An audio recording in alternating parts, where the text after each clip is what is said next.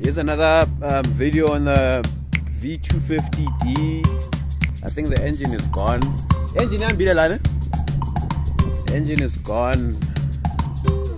Uh, but there's a whole lot of things still still on it. The seats are gone. The Table is uh, the screen is there. Lot of people were calling me on the carpet. The carpet is still here. The door panels are there. The, the roof lining is there. Most of the interior stuff is here. Carpets are here. So suspensions. Let's check suspension. Suspension.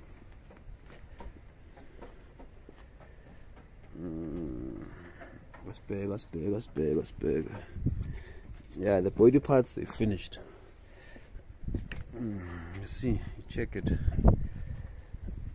The rim, it's damaged. The rear suspension is still still there.